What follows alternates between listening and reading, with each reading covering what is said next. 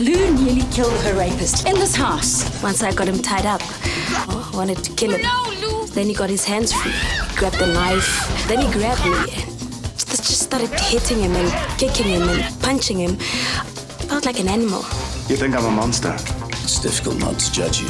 Mike has confessed to some very serious crimes. You offered me your help.